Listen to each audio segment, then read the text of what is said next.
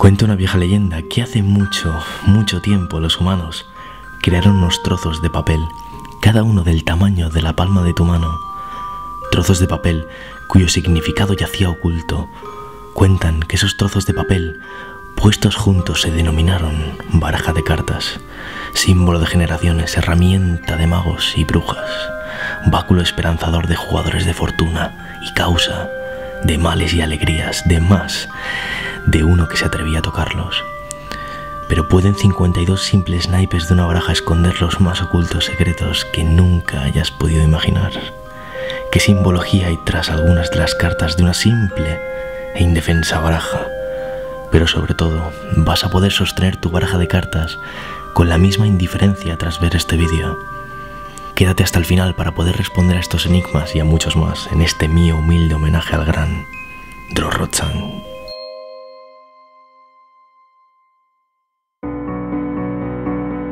Número 7. El significado profundo de la baraja. ¿Qué subyace dentro de la simbología de cada una de las cartas? ¿Qué significado tiene cada palo? ¿Por qué cuatro palos? ¿Por qué 52 cartas? Los naipes nacieron en la civilización china y se cree que derivaron del dominó, entraron a Europa a través del Medio Oriente y en Italia se han encontrado algunas de las barajas más antiguas y posiblemente de ahí llegaron a España, más tarde a Francia y Alemania, dando lugar a sus respectivas barajas. Sin embargo, la baraja más popular alrededor del mundo, como bien has deducido, es la baraja francesa. 52 cartas repartidas en cuatro palos, diamantes, corazones, picas y tréboles, y cada uno de ellos con un símbolo peculiar el origen de estos símbolos no es muy claro. Para unos son adaptaciones de los signos alemanes. Por otro lado, hay quien piensa que el origen de estos símbolos procede de la influencia de la baraja española, de la italiana y sobre todo de la baraja del tarot. Pero los datos más curiosos esta vez van a ser los números. 52 cartas, como 52 semanas tiene el año. 13 cartas de cada palo, como 13 meses lunares. 4 palos, como 4 estaciones tiene el año. Y atención, el dato más escalofriante, si sumamos todos los valores de cada carta, obtenemos 364 más los dos jokers. Serían 365 y 366 los mismos días que tiene un año normal y un año bisiesto respectivamente. Número 6. El valor 808. Un hecho aislado es el valor 808, el cual podemos ver en la más famosa baraja del mundo, la Bicycle. Baraja usada, como sabéis, por magos, prestidigitadores y la favorita de muchos de ellos. Sin embargo, en alguna de sus cartas se dibuja un misterioso número, el 808. 808 misterios que subyacen en la baraja. 808 combinaciones para hacer con tu baraja de cartas. 808 juegos de magia que harás en lo que te queda de vida. Aunque sería místico que el motivo fuese alguna de estas preguntas, en realidad, este sí es un misterio resuelto. Y es que la fábrica de naipes americanos denominó a su primer modelo de cartas el 101, el 101, al segundo el 202 y así sucesivamente, hasta llegar al 808, al 808, el cual ha perdurado. De la misma manera que Chanel mantuvo su número 5 en su perfume, número que provenía de ser la fragancia quinta que se le entregó a Coco para probar. La baraja Bicycle mantiene como valor mágico el 8, el modelo número 8, la primera octava variación de sus cartas. Y lo interesante es que ese 808 aún perdura actualmente. Ese 808 se mantiene en tinta desafiante e imborrable en el as de picas, en los jokers y hasta en alguna caja, recordándonos que solo la constancia envuelta en prueba y error definen la perfección y que el error no existe, sino que pasa a ser parte de quien hoy somos. Número 5. El Joker. Y llegamos al Joker, al guasón, a la figura en forma de payaso de la baraja, tan inútil como imprescindible. Simbología del gran villano de Batman, cuya historia macabra de actores que han pasado por dicho reparto y el oscuro futuro final que alguno de ellos ha sufrido, merecería un vídeo aparte. Pero centrémonos hoy en la mera carta, en la mera figura, en la mera simbología. Su aparición en la baraja fue tardía y no fue hasta 1860 que esta carta pasó a formar parte de la baraja. Sus inicios se remontan al clásico juego americano denominado Euchre, cuya normativa hacía necesaria una carta extra de elevado valor. Y fue entonces cuando se incluyó una carta a la que se denominaba Best Bower, la cual rápidamente pasó a ser denominada Joker o Jolly Joker. Aunque se empeña en asociar al Joker a la carta del loco del tarot, lo cierto es que no existe ningún lazo objetivo o histórico entre ellas. Aún así, el Joker se dibuja como una carta disruptiva, una carta incomprendida que busca su hueco en 52 cartas ordenadas.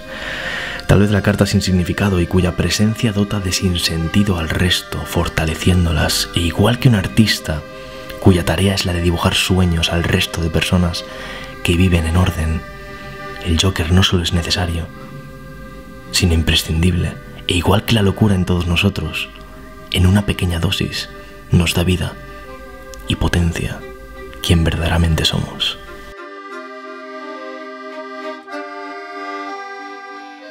Número 4. Dar el pego.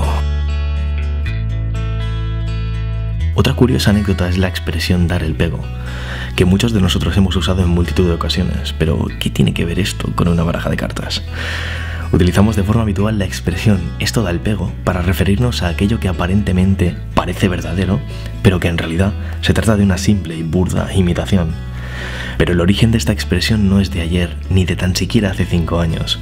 Y es que para encontrar su origen debemos viajar varios siglos atrás, a una época en la que se puso de moda realizar una trampa muy común entre algunos taures, aquellos jugadores de ventaja tramposos.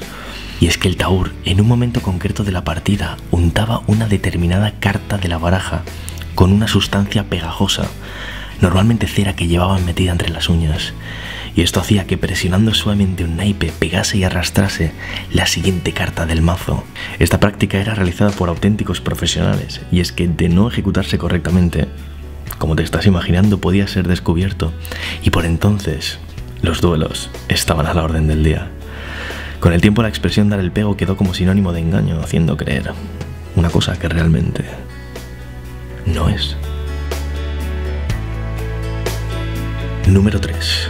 La baraja que salvó vidas. ¿Puede una baraja de cartas haber salvado vidas en un pasado? ¿Pueden 52 trozos de papel tener la llave hacia la libertad de cientos de personas? Durante la Segunda Guerra Mundial, la fábrica americana de naipes unió sus fuerzas junto a la Armada de los Estados Unidos de América para crear una baraja que efectivamente iba a salvar vidas. La mayoría de cartas se componen internamente de tres capas, no sé si lo sabéis. Dos capas exteriores de papel fino y una capa interior, un corazón, un alma algo más gruesa pero oculta que dota de consistencia al naipe. Una tercera capa oculta y apartada del mundo que acostumbra a ser de un color negro pues poco importa el color ya que el mundo jamás la va a ver. Pues bien, la baraja que se creó en esos años era una baraja destinada a hacer los días de los prisioneros americanos en las cárceles de prisioneros de guerra más llevaderos y darles un entretenimiento en forma de simples juegos de mesa. Lo que no sabían los nazis es que en el interior de cada carta, en esa capa oculta interna y secreta, se encontraban mapas destinados a ayudar a los prisioneros americanos a hacer realidad una efectiva fuga. Para acceder a esa capa y que el mapa se mostrase, solo era necesario humedecer la primera capa fina y deshacerse de ella, y solo entonces el mapa de fuga aparecía a los ojos de los prisioneros, brindándoles la única puerta de salida hacia su hogar, hacia su familia. El secreto que rodea estas barajas sigue siendo un misterio y poco más se sabe de ellas. Y es que tan solo se conservan dos ejemplares de las mismas, uno en manos de un coleccionista privado y otro en el Spy Museum de Washington DC. Tal vez el único ejemplo que queda de esas únicas barajas que fueron la llave a la libertad de más de algún afortunado prisionero.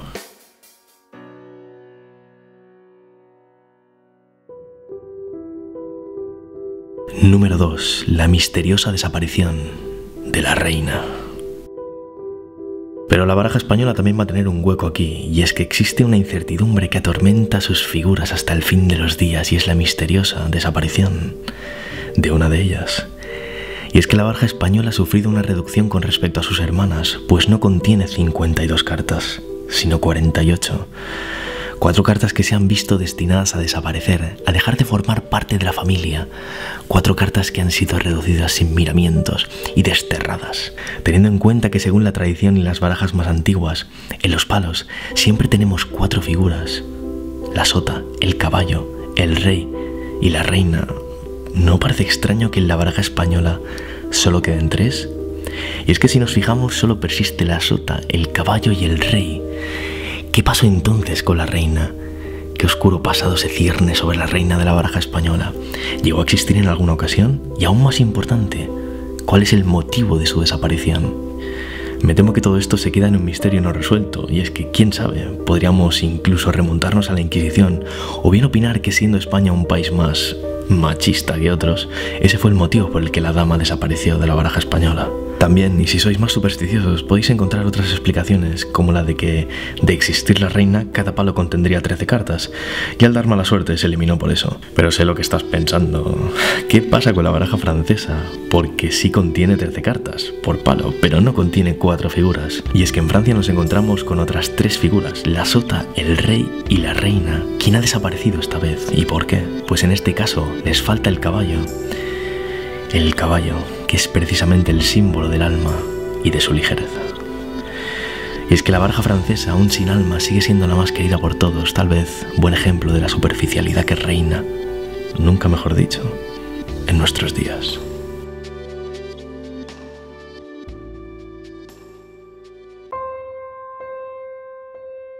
Número 1. El as de picas. Durante el año 1966 se encargaron de nuevo por la Armada de los Estados Unidos una baraja muy especial a la fábrica de naipes americana. Esta vez se trataban de barajas cuyas 52 cartas eran siempre la misma, todas ellas ases de picas, cientos de miles de barajas solo con ases de picas, ni una carta más, ni corazones, ni diamantes, ni tréboles, solo ases de picas solo sombra. Pero ¿con qué objetivo un ejército hace un encargo de este tipo? Cuando hablamos del tarot y predicciones, siempre que se ha realizado esta práctica con la baraja francesa y las de picas, ha sido símbolo de la muerte.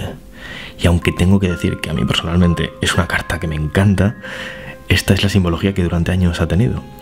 Y aquí es precisamente donde este dato tiene relevancia, y es que por entonces Estados Unidos estaba en plena y sangrienta guerra de Vietnam, y los vietnamitas eran muy supersticiosos. Los estadounidenses, sabiendo esto, forzaron la maquinaria y utilizaron el as de picas como arma a favor suyo, dejando encima de cada cadáver vietnamita dicho as, y lanzando además sobre los bosques ya de por sí llenos de sangre miles de cartas para provocar el miedo en su enemigo, como proyectando encima de ese territorio aquello que estaba a punto de suceder, la muerte y la locura de una guerra que como todas son sin sentido.